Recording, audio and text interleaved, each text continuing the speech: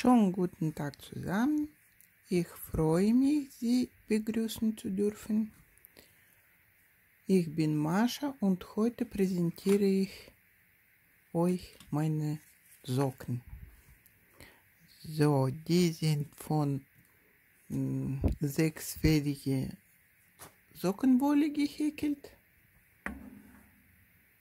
So, die so ungefähr Größen, die habe ich für Schuhgröße 44 gehäkelt, aber es ist echt elastisch und bis zu 46 kann man ruhig tragen. So, und das wiegt eine Socke 63 Gramm. Im Vergleich mit normale, so gestrickte Socke, die ist 35 Gramm, ja, die, das Hälfte. Aber die ist vierfädige und die sechsfädige äh, Faden, Sockenwolle die auch die Größe ist gleich. Und so sieht aus das gleiche Socke, so ich meine genau gleiche Maschenanzahl, aber im vierfädige äh, Faden. Sockenwolle auch von Opal ist das, denke ich. Und so, ich kann sagen, 39, so 40 Schuhgroß. Und zwar geht los. Wie gesagt, 150 Gramm, 420 Meter. Sechsfädige Sockenwolle. Mache eine Schlaufe zwei Luftmaschen und beginne diese sogenannten äh, Fußlingenanschlag. Anschlag. So mache eine Luftmasche und parallel eine feste Masche. Eine Luftmasche und eine feste Masche. So, in den Fußchen eine Luftmasche und eine feste Masche. Kann man das auch mit äh, äh, Stäbchen machen oder Kettmaschen. Dieses Mal mache ich das mit festen Maschen. So, mache den Anschlag und gleichzeitig die erste Reihe mit äh, festen Maschen.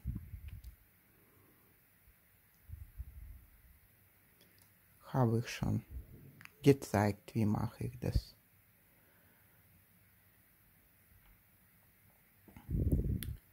Und so bei mir wird es 80 Maschen. So, es ist ganz lange so Kette, aber die sammelt sich danach ein bisschen. Eine Luftmasche, Wendemasche und dann geht im Bündchen eine fest äh, Kettmasche, eine feste Masche. Eine Kettmasche, eine feste Masche. Kettmasche, feste Masche. Und Anzahl den Maschen für den Bündchen soll ungerade sein. So, ich beginne mit Kettmasche und die letzte soll auch Kettmasche sein. Bei mir wird das 15 Maschen.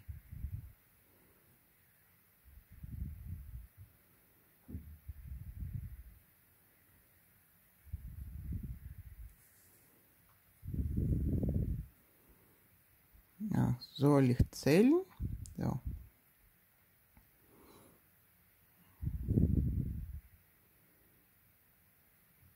Also zwei übrig lasse es aus und in die letzte 15. Kettmasche mache den Markierer rein.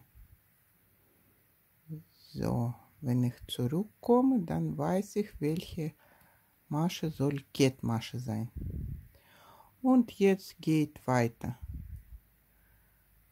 Die ganze Reihe und eigentlich die ganze Socke mit äh, feste Maschen. In, den, in das hintere Maschenglied eingestochen. So ganz normal. Jede Masche bekommt eine feste Masche. Und mache bis zum Ende. Komme wieder gleich. Also am Ende so eine Luftmasche drehe rum und mache genau das gleiche nach oben.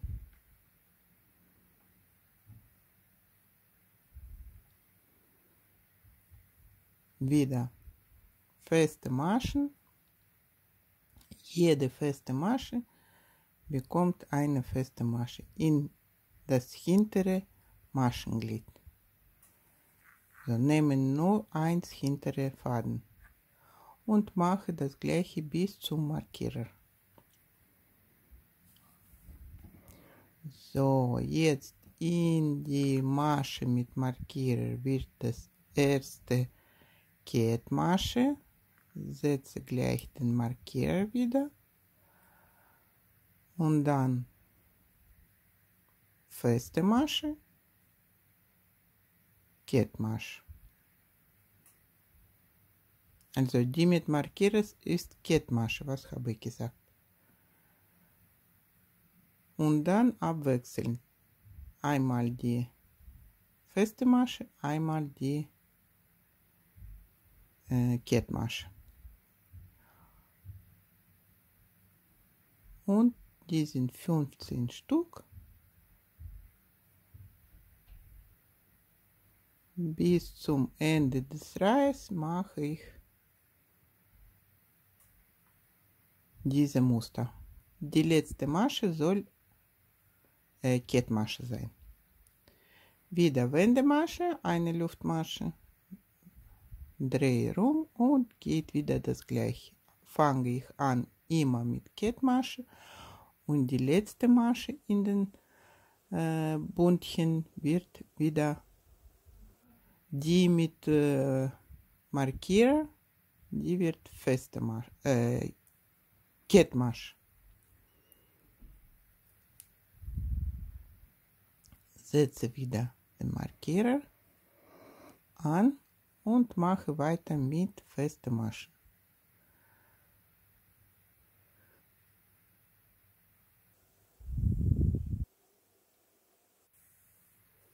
Bis zum Ende.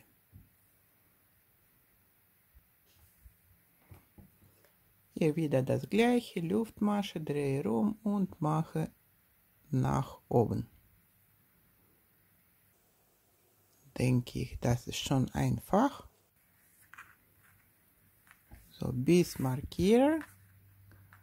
Dann zeige noch mal den hm, Bundchen.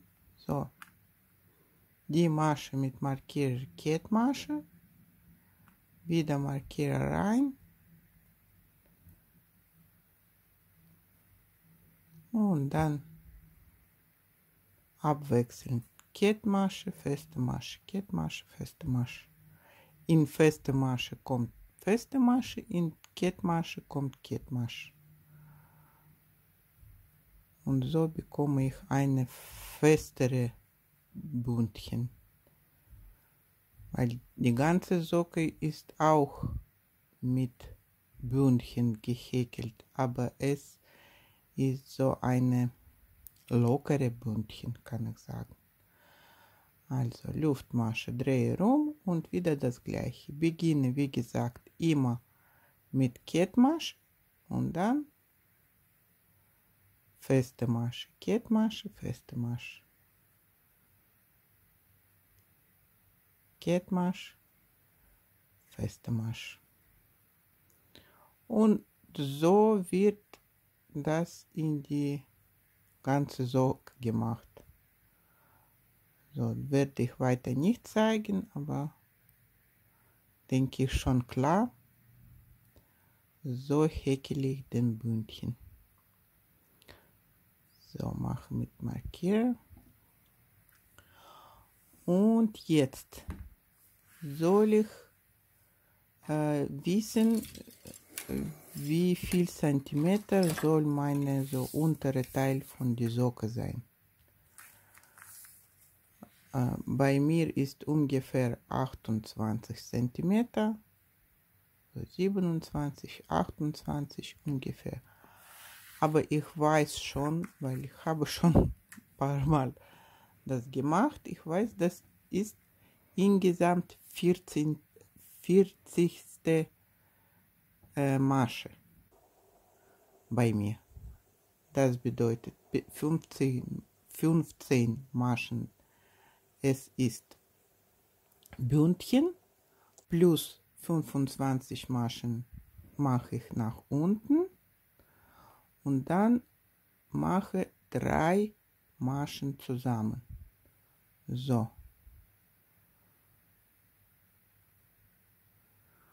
Kann ich das leider nicht erklären.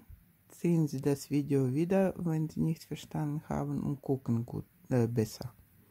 So, und dann noch eine Masche nehme ich. Die ist die Wendemasche. Und drehe rum und mache 15 feste Maschen. Das wird meine Ferse.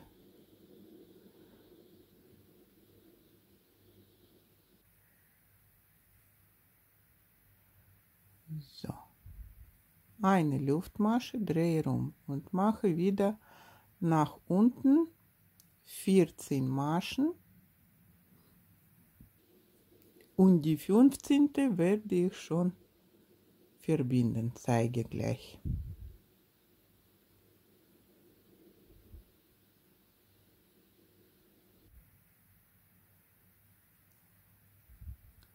Also 14. ist da, äh, 15. ist da unten.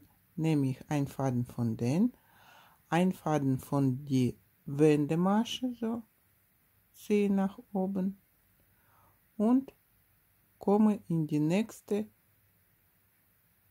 feste Masche und mache so sozusagen eine Kettmasche und noch eine Kettmasche, das ist Wendemasche, drehe rum und äh, dieses Mal zwölf feste Maschen.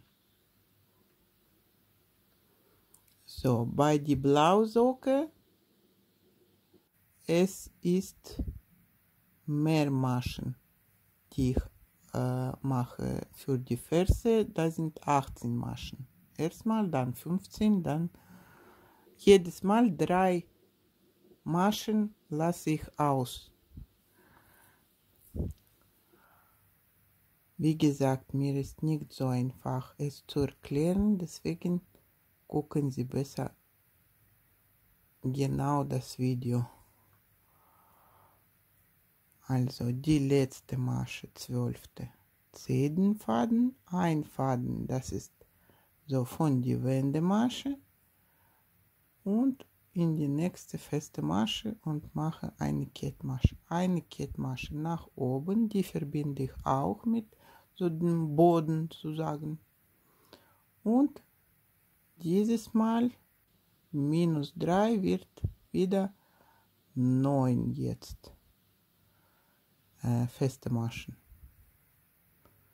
Also die drei letzte lasse ich aus, drehe rum und mache wieder die 8 und die 9 werde mit Boden Boden oder wie heißt das? Verbinden. So, die letzte Masche. Ein Faden von da hin und die nächste feste Masche. Noch eine Luftmasche. So, Luftmasche, Kettmasche, die verbinde ich da unten. Dreh rum und jetzt sechs Maschen. Und so fünfmal gehe ich hin und hin und zurück. Im Blausocke habe ich das äh, äh, sechsmal gemacht. So 18 Maschen, jedes Mal drei Maschen habe ich ausgelassen.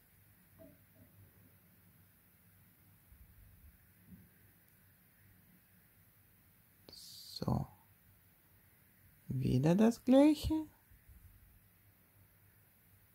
Und mit Kettmasche, so wird es fester. Noch eine Kettmasche, die Wendemasche. Und jetzt sind, ach, habe eine vergessen. Da, hinten. Eins, zwei, drei.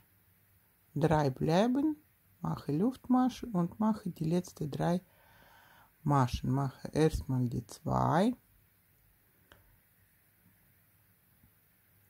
Mache wieder diese komische Verbindung. So.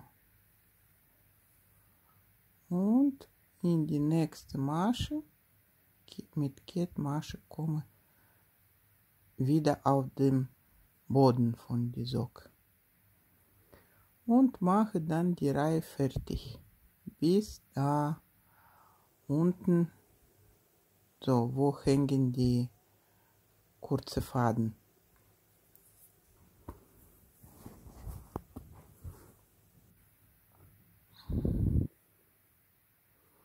Und da lasse ich auch drei Maschen äh, aus so mache ich jetzt die die untere Teil, wie heißt das, die vor, vorne Teil von die Socke. Und jetzt gehe so zurück. Bin jetzt auf die Stelle bei die Ferse. Und was mache ich jetzt? Zeige gleich so bis die erste Stufe mache ganz einfach so diese feste Maschen. Dann nehme ich wieder die Wendemasche ein Faden so hängt das da oben. Komme in die nächste Masche nach der Stufe und mache Kettmasche die nächste zwei Maschen mache ganz normal feste Maschen wieder diese Schlaufe und Kettmasch. Wieder zwei feste Maschen, ganz normal. Und die beiden Stufen mache erstmal die Wendemasche, so Wendelmasche oder wie heißt die? So die Luftmasche nach oben. Die mache ich mit Kettmasche und die nächste zwei, so drei habe ich ausgelassen. Mache die normale feste Masche.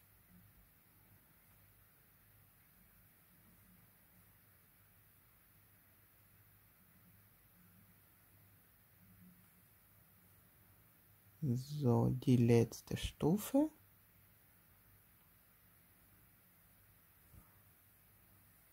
Und so sieht das aus.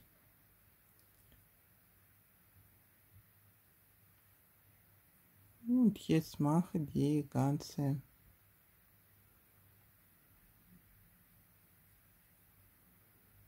äh, Stück nach oben, so wie, wie immer. Da ändert sich nichts. So komme bis zum Markierer. Die Masche mit Markierer ist Kettmasche, mache das wieder und ganz normal mit Kettmaschen dann bis dahin.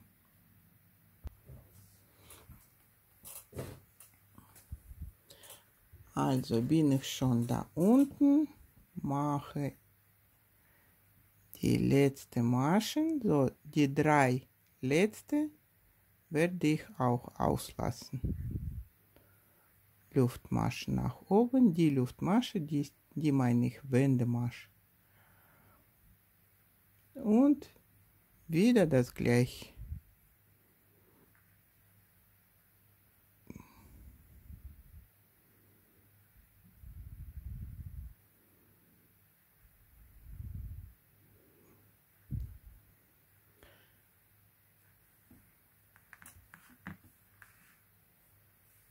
So, ganz einfach bis dem Markierer, dann Bundchen, dann gehe zurück und komme wieder da unten und lasse wieder drei Maschen aus.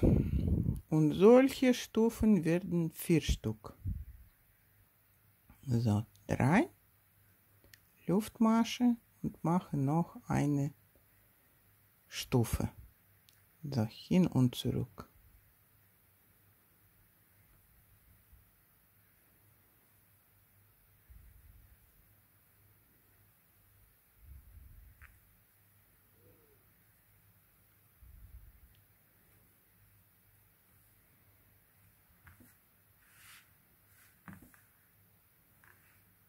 So, da oben, hinten und zeige, wie verbinde ich diese Stufen. So sieht das aus. Das wird das fast gleiche wie bei die Ferse. So, die letzte Masche. Dann nehme ich diese ein Faden von Wendemaschen, Wendelmaschen oder die Luftmasche nach oben und mache drei, zwei Maschen noch. So, die ist die erste, dann noch eine und die dritte. Wieder die Stufe nehme ich diese Faden und komme in die erste feste Masche nach die Stufe, mache Kettmasche und die letzte zwei Maschen. Ganz normal feste Maschen. So sieht das aus.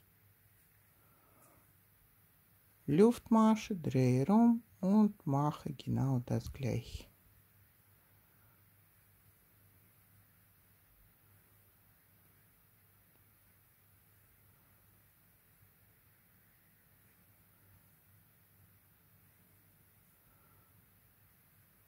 Hier die Maschen, so die Kettmaschen besonders, können kleiner aussehen. Deswegen passe ich auf.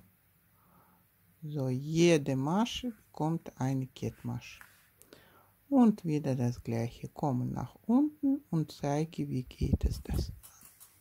Wieder. So, ich bin wieder unten angekommen. So, und jetzt mache Spiegelbild. So, soll äh, zwölf Maschen, nee, neun Maschen äh, auslassen. So. Einmal drei, zweite Mal drei, dritte Mal drei, neun. So. Luftmasche, drehe rum und mache die Reihe bis den Bundchen dann mache den Bundchen, dann wieder Luftmasche drehe rum, mache wieder den Bundchen und komme dann wieder. So, bis nächste Stufe, dann wieder nach oben, nächste Stufe und noch einmal das letzte. So, ich bin schon bei der zweiten Stufe. So, mache den Verbindung, Verbindung wieder wie immer mit Kettmasche. Das ist erste, zweite und dritte. So symmetrisch. Luftmasche, drehe rum und nach unten. Ne, nach oben jetzt zum, zum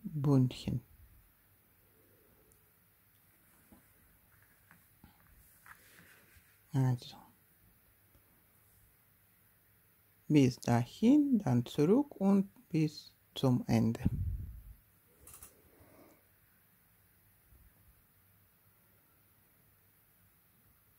So, bin ich jetzt bei die letzte Stufe.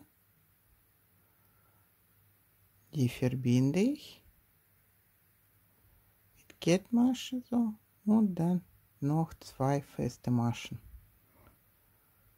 Und so habe ich eine symmetrische Ding bekommen. Und jetzt wird von dieser Stelle werde ich so die ganze Reihe machen. Äh, hin und zurück fünfmal.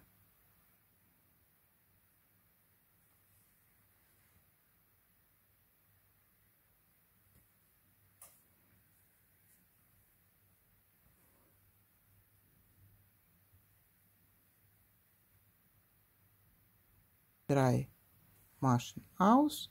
Ich habe genau das gleiche, wie habe ich hier gemacht. So, und das andere auch. So, habe schon fünf Stufen gemacht. Zeige nochmal, wie verbinde ich diese Stufen. So, die sind vier Stufen. Jetzt kommt die erste. Die mache ich mit Kettmasche, dann feste Masche, noch eine, wieder diese Faden von Kettmasche, mache Kettmasche, feste Masche, noch eine feste Masche.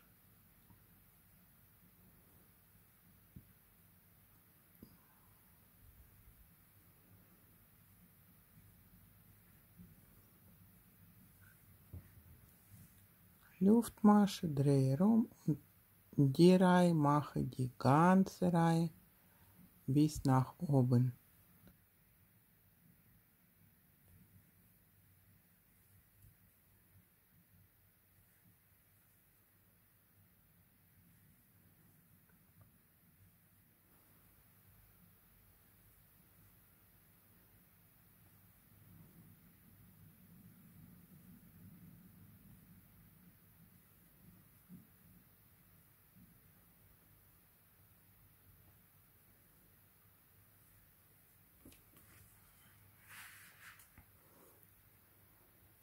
So, hin, zurück und werde diese symmetrische äh, kurze Reihe machen. So einmal, zwei, drei und die letzte vier. So, lasse neun Maschen aus, drehe rum und geht wieder auf die andere Seite.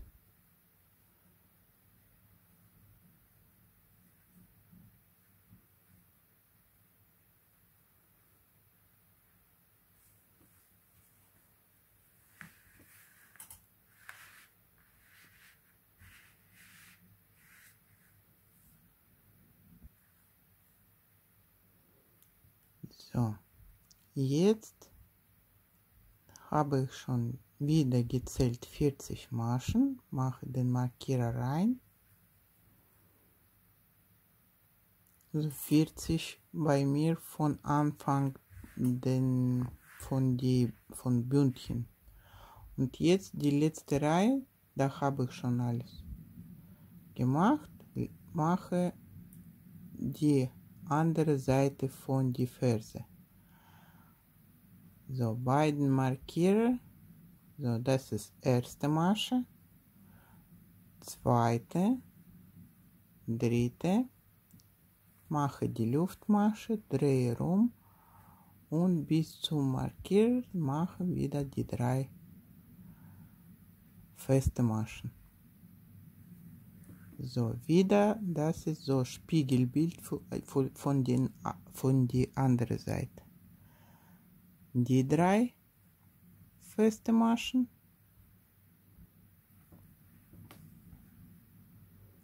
Verbinde wieder wie immer mit einem Faden von Kettmasche und komme gleich in die erste feste Masche nach die Stufe und mache noch zwei. So, insgesamt sollen sie bei Zurückgehen sechs Maschen sein in dieser Reihe. So, drei erste und noch drei habe ich jetzt gemacht. So. Letzte Masche.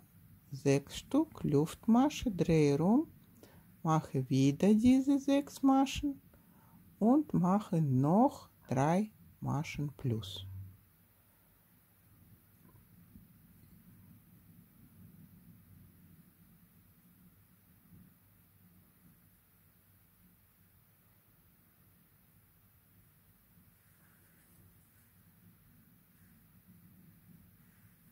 Eine, zweite, dritte. Eine Luftmasche, drehe rum und jetzt sind die neun Stück schon.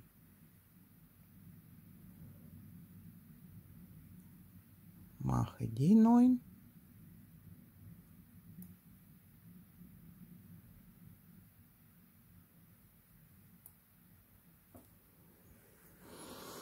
Drehe rum in diese Reihe.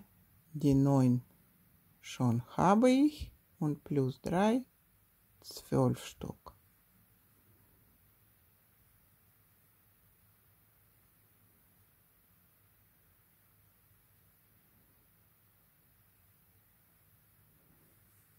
So, die Stufen. Jedes Mal wie immer eine Faden von Kettmasche nicht Kettmasche, die Luftmasche. Und noch zwei Maschen.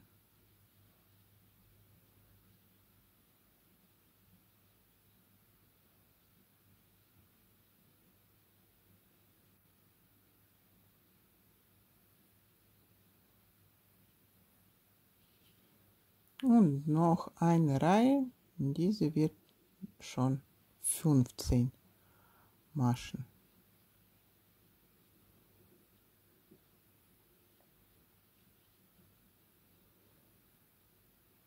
In diese Reihe gehe ich von äh,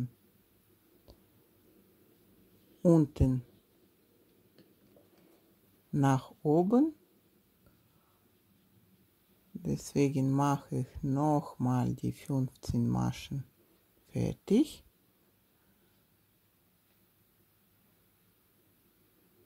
So.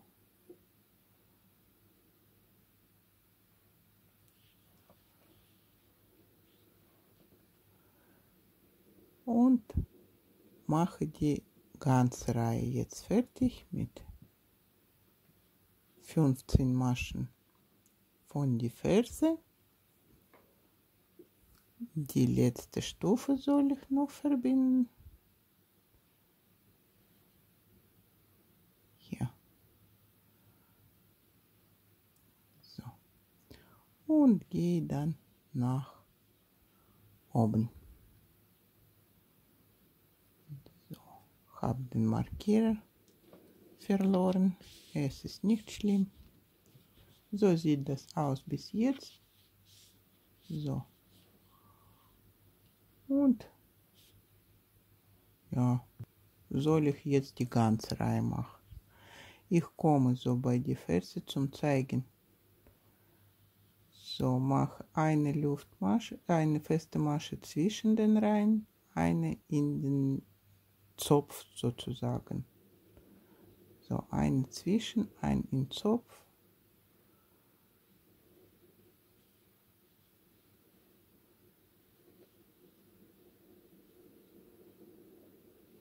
Und die letzte in, äh, zwischen den Reihen und komme gleich in die Masche nach die Ferse und mache die ganze Reihe fertig.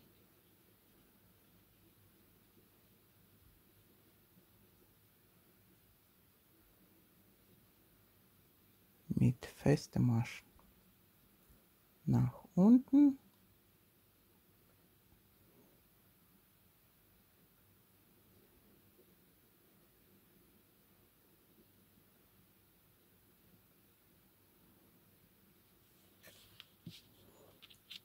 Und so soll ich noch zwei Reihen machen, so, äh, so zwei, mh, hm, diese Riebchen. Hab zwei Riebchen gemacht, so äh, klappe ich das und ja, kann man schon verstehen und das ist gut symmetrisch und passt. Und jetzt von oben nach unten werde ich die verhäkeln, ver, ver, vernähen, ne, verhäkeln. So, ich mache das einfach mit Kettmaschen. Das so was kann man doch merken, aber es ist hinten und unten so kann man auch vernähen oder irgendwie anders verhäkeln oder vernähen. Also, ich soll das verbinden. Ich mache es so mit Kettmaschen. Jeder entscheidet selbst, wie kann man das machen. So. Ganz einfach, Masche in Masche bis zum Ende.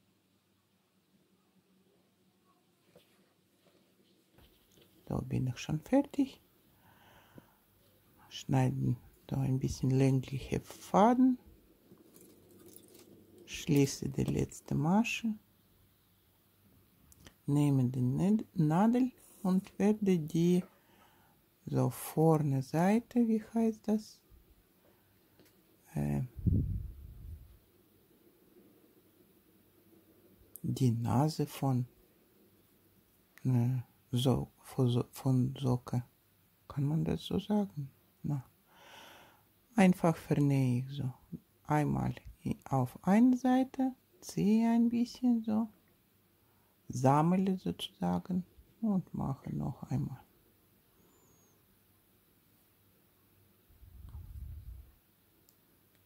Nach die andere Seite auch. auch ein bisschen ziehen und mache es fester.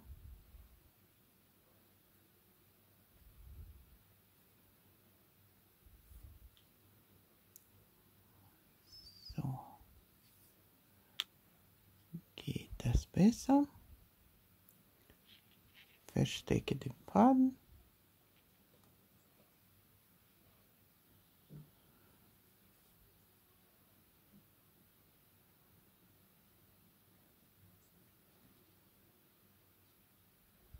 So mache ich mit kleinen Faden. Und so bin ich fertig. Hoffentlich haben Sie was verstanden. Wenn nicht, gerne fragen. Was ich kann, werde ich doch machen. So die Ferse. So sieht das aus. So auf die andere Seite kann man schon beiseitig sagen, so sieht das Bündchen aus. Fertig. Vielen Dank für Ihre Zeit und bis nächstes Mal.